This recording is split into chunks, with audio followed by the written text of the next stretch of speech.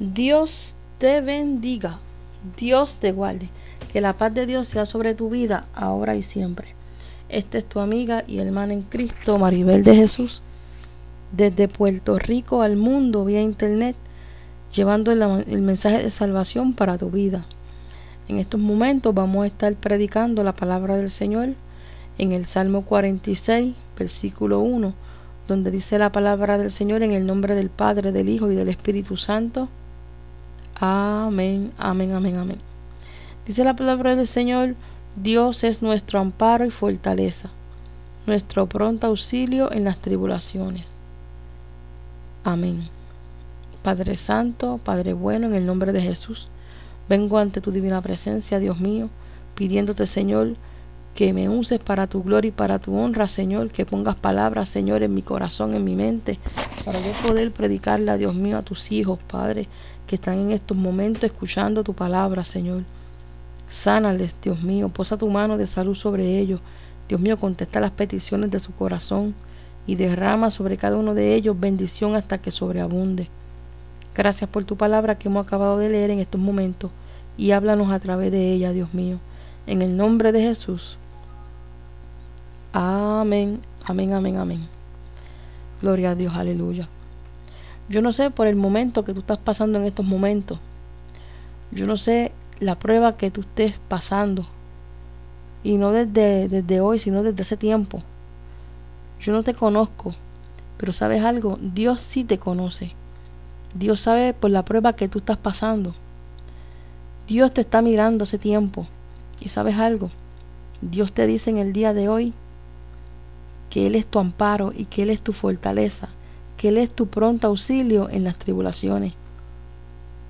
Pero Él quiere que tú le creas a Él, o sea, Él quiere que tú descanses en sus promesas, Él quiere que tú confíes verdaderamente en que Él es, Él es el que te va a ayudar en ese problema que no te deja dormir, en ese problema que tú piensas que no hay solución, en ese problema que aparentemente tú dices, olvídate, ya me rendí, yo no puedo más. Dios viene en estos momentos a tu vida. ¿Para qué? Para decirte, mira, yo soy tu amparo, tu fortaleza. Yo soy tu pronto auxilio en las tribulaciones. O sea, Dios quiere que nosotros acudamos a Él. Dios quiere que, que, que Él para ti y para mí no sea simplemente una religión. Él quiere que Él sea para nosotros, no solamente este, decir una rutina, no Dios quiere ser para nosotros. Gloria a Dios, aleluya. Él quiere ser nuestro amparo, nuestra fortaleza, nuestro pronto auxilio en las tribulaciones. Y por eso, en el día de hoy, Dios se nos acerca y nos dice, mira, yo soy tu amparo, ¿por qué tú estás llorando? ¿Por qué tú, tú te crees que ya todo terminó? ¿Por qué tú crees que, que ya no hay esperanza? Cuando yo soy tu amparo, yo soy tu, tu fortaleza, yo soy tu pronto auxilio en las tribulaciones. Cuando dice que Dios es tu pronto auxilio en la tribulación, es que Él es lo más pronto que tenemos. ¿Por qué? Porque los hombres se cansan, nosotros nos cansamos de ayudar a los, demás. A veces nosotros hasta sacamos en cara cuando ayudamos a los demás. Y muchas veces nosotros hasta nos olvidamos. Muchas veces nosotros, nosotros ofrecemos ayuda y se nos olvida. Pero no, Dios no es así. Dios nunca se olvida de sus hijos, Dios nunca se olvida de ti. Dios está las 24 horas del día cuidándote, protegiéndote, ayudándote. Y tú dirás, pero Mari, pero ven acá, tú dices así y mira la condición en la que yo estoy. Tú dirás, Mari, siéntate ahí que te voy a decir por la que yo estoy pasando. Y yo, yo comenzaré a escuchar tus problemas y verdaderamente diré, wow, qué terrible lo que tú estás pasando, pero ¿sabes algo? Nosotros no nos podemos enfocar en los problemas. Nosotros no podemos dejar que los problemas nos angustien, nos quiten el gozo, la paz, sino que nosotros tenemos que, que buscar las promesas del Señor como esta promesa que Dios nos dice hoy. Dios nos dice, mira, yo soy tu amparo, yo soy tu fortaleza, yo soy tu pronto auxilio en la tribulación. O sea, Dios dice, ven acá, te voy a ayudar, Dios te dice, mira, no temas porque yo estoy contigo, no desmayes porque yo soy tu Dios que te esfuerzo. Siempre te ayudaré. Si la palabra de Dios dice siempre es siempre, no es a veces. Pero a nosotros se nos olvida. ¿Por qué se nos olvida?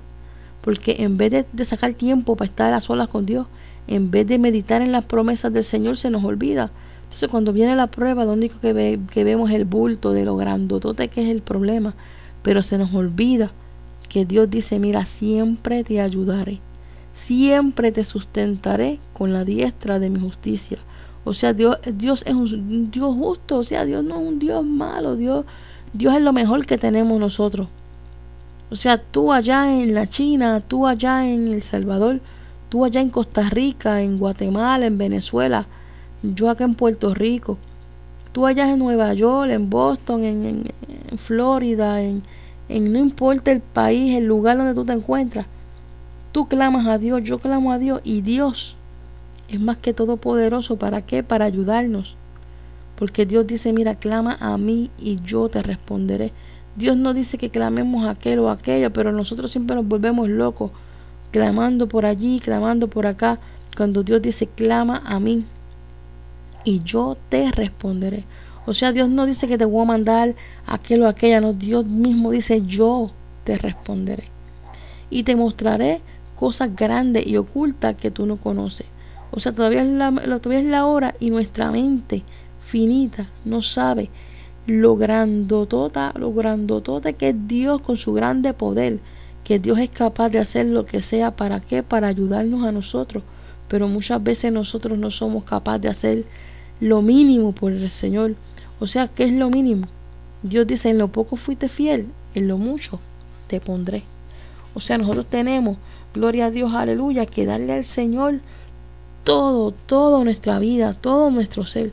Pero tú dirás, ay Maribel, ya tú estás vuelto una fanática, ya tú estás loca, ¿cómo le voy a dar todo al Señor? Bueno, si tú le das todo a Dios, Dios te lo va a dar todo a ti. Gloria a Dios, aleluya. La palabra de Dios dice que aunque nosotros le seamos infiel, Él sigue siendo fiel. Gloria a Dios, aleluya.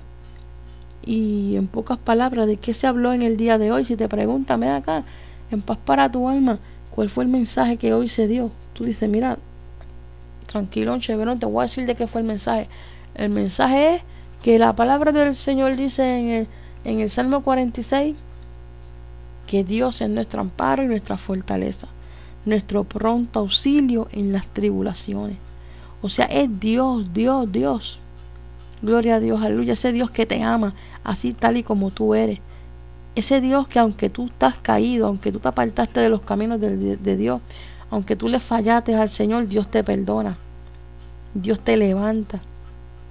Dios está con sus brazos abiertos para amarte, para bendecirte, para restaurarte, para abrazarte. Como dije al principio, para amarte. Porque Dios te ama como nadie te amará. O sea, el que verdaderamente te ama se llama Jesucristo que entregó su vida allí en la cruz del Calvario para que hoy tú pudieras ser salvo. O sea, cree en el Señor Jesucristo y serás salvo tú y tu casa. O sea, la bendición es para ti, pero también es para tus hijos, para tu esposo, para tu esposa, para tu hermana, para tu abuela, para tu, para tu suegro, para, para toda la familia. Gloria a Dios, aleluya. Esta invitación es para todos ustedes que están escuchando este mensaje. Gloria a Dios, aleluya. Y aquí yo no estoy hablando de religión, estoy hablando de esa relación íntima con Dios, Dios que te quiere amar, Dios que te quiere, Dios quiere que tú, tú lo sientas a Él. ¿Desde cuándo hace que tú no sientes al Señor? O mejor dime, mira Mari, yo nunca, yo nunca he, sentido a Dios. Pues sabes algo, hoy es un bonito día, es un, si, me estás escuchando de noche, es una hermosa, una, hermosa noche. Perdón. Es un, un hermoso momento para que tú puedas sentir a Dios. Eso es lo más hermoso que hay. Sentir la presencia de tu Padre Celestial, sentir la presencia de tu mejor amigo, sentir la presencia de tu médico por excelencia, sentir la presencia de nuestro Maestro, sentir a Dios es lo mejor que hay en este mundo. Y en estos momentos yo me voy a ir despidiendo ya porque no me gusta cansarles a ustedes con mucho bla bla bla bla. No, no. O sea, yo lo que quiero solamente es que tú entiendas que Dios te ama que, Dios es tu amparo, que Dios es tu fortaleza, que Dios es tu pronto auxilio en las tribulaciones. Simplemente eso.